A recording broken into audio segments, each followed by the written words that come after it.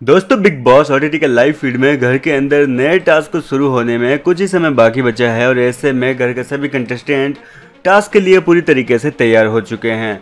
दरअसल दोस्तों, कुछ समय पहले बिग बॉस ने घर के सभी कंटेस्टेंट को तैयार होने का आदेश दिया था, क्योंकि घर के अंदर आज एक बार फिर से राशन के लिए हो सकता है नया टास्क होने वाला है, और इसी के लिए बिग बॉस ने घर वालों को कहा था कि तैयार हो जाएँ।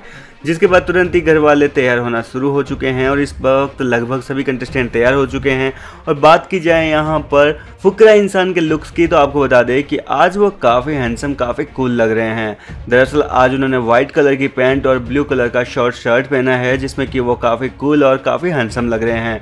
और दोस्तों, यहाँ पर हैरानी वाली बात तो यह है कि जिया शंकर ने भी फुकरा इंसान के इस लुक को देख उनकी जमकर तारीफ़ कर डाली है। तो वहीं घर के बाकी कंटेस्टेंट ने भी उनकी जमकर तारीफ़ की है। वहीं इसके अलावा उन्होंने घर वालों ने मतलब फुकरा इंसान से पूछ भी लिया कि आखिर तू कितनी ड्रेसेस लेके आया है? जिसके बाद दोस्तों, फुकरा इंसान ने बताया कि उनके जो डिज़ाइनर है, उनके स्टाइलिस्ट ने उनके लिए पहले ही हफ़्ते के लिए पूरे 20 सेट भेजे हैं, यानी कि 20 जोड़ी कपड़े भेजे हैं। अब देखना दिलचस्प होगा कि वीकेंड के बारे एपिसोड के दौरान यहाँ पर फुकरा इंसान क्या पहनते हैं। फ़िलहाल आपको फुकरा इंसान का आज का लुक कैसा लगा कमेंट में ज़रूर बताएँ। लेटेस्ट अपडेट्स के लिए चैनल को सब्सक्राइब करना ना भूलें।